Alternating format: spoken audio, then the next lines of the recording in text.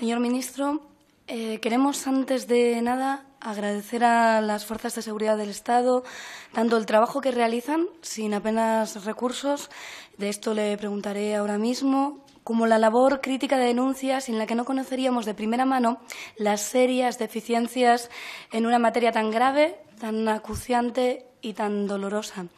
A la ministra competente en materia de igualdad le hemos expuesto este problema y hemos abordado también los aspectos socioculturales, educativos, de valores sociales, si quiere, que son necesarios para acabar con esta lacra y que deben llevarse a efecto en cumplimiento de la ley y, se me apura, con ejemplaridad desde un Gobierno. Pero a su Gobierno la protección de víctimas y la prevención de la violencia de género no parece suponer una preocupación extrema, ¿verdad? Eh, parece como si fuera cierto de una cuestión de género, algo natural de las mujeres morirse, morirse, entre comillas, caer presas de relaciones de dominación donde donde desde la prensa hasta el lenguaje común olvida muchas veces hablar con propiedad y decir lo obvio, asesinadas. España tiene un problema de asesinatos sistemáticos de mujeres a manos de sus parejas o exparejas, pero este Gobierno, esta realidad, parece que le sucede en otro plano.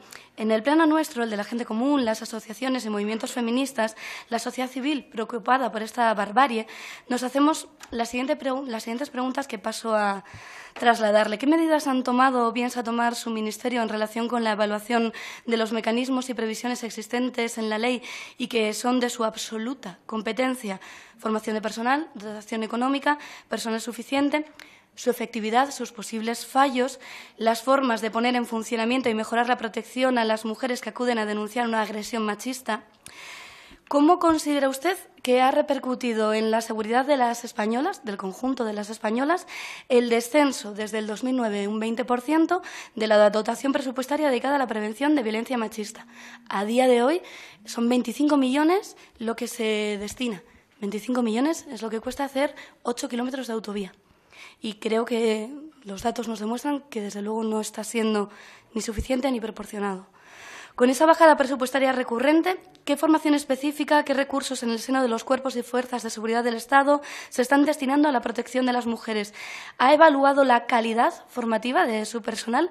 ¿Han podido medir si la atención que brindan, la seguridad que deben garantizar, está suficientemente respaldada con formación en asuntos de igualdad de género y tratamiento con víctimas a la altura de su misión, tememos que el propio Gobierno desatienda también a sus cuerpos y fuerzas de seguridad del Estado en este asunto, no dotando de recursos y dejando a su buena voluntad y exceso de trabajo que se formen y que se ocupen de una correcta atención a las mujeres. Y nos remitimos a las denuncias públicas que ha hecho el Sindicato Unificado de Policía en agosto de 2016, tanto con esta cuestión como con la cuestión de la SUFAM porque resulta que las UFAM no son 24 horas, sino que están de lunes a viernes, no festivos, no fines de semana, y me gustaría saber si considera que es que las denuncias y las agresiones solo suceden de lunes a viernes en horario laboral. Es difícil que una mujer acuda a denunciar. Es común, por desgracia, que el agresor quebrante la, orden de alejamiento. Si esto último pasa, nos puede dar los datos económicos y de recursos que se ponen a disposición de una mujer que se beneficia de esta protección. Es decir, de media, ¿Por cuántas mujeres debe velar un agente en una localidad media española, como por ejemplo la mía, Sison? ¿Y cómo ha evolucionado ese ratio desde que el PP entró en el Gobierno y ha disminuido de esta manera los recursos económicos? No pensaba preguntarle por educación, pero como lo ha mencionado usted mismo, em, ¿conoce bien la presencia en el currículo académico que tiene la materia de violencia de género? ¿La conoce? ¿Ha preguntado a la comunidad educativa? Porque se lo voy a decir yo, es cero. Cero. Ahora mismo, en este momento, lo que hay es una cuestión transversal en la educación indirecta que habla de igualdad, no de violencia de género. Lo dejamos a la buena intención y a la buena responsabilidad de cada docente, pero no hay nada específico, por lo tanto, me muero de curiosidad por saber exactamente cuál sería esa cuestión en la que se está metiendo en la educación primaria, secundaria, de la que nos hablaba.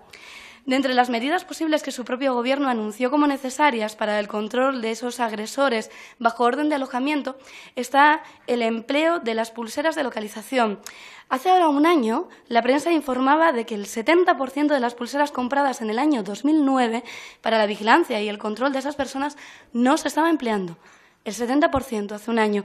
Eh, ¿Cuál es la situación actual? Si se hizo esa inversión y su eficacia en la ayuda en la protección de mujeres está demostrada, ¿por qué no se han estado empleando?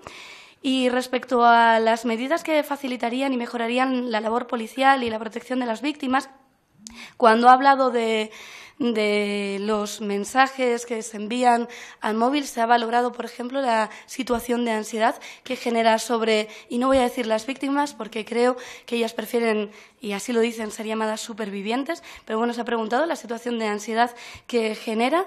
Eh, se ha preguntado también eh, cuántas son las agresiones que se dan en esos permisos penitenciarios y por qué o sea, ¿en qué situaciones no delictivas se considera que ha habido un mal uso del permiso y, por lo tanto, se deniega la salida en el siguiente caso? ¿Cómo se mide eso? ¿Cómo se actúa? ¿De qué manera? ¿Nos podría especificar un poco más? Y luego, ya finalmente, vuelvo a insistirle en que preferimos hablar incluso de cuestión de Estado, ya que nos parece que esto es de una gravísima responsabilidad para este Gobierno, la situación que tenemos. Y, una vez más, pediría que estuviéramos hablando de las mujeres que sufren violencia, que sufren agresiones machistas como supervivientes y no como víctimas y que volquemos toda la, toda la responsabilidad y todas las acciones sobre el victimario. Muchas gracias.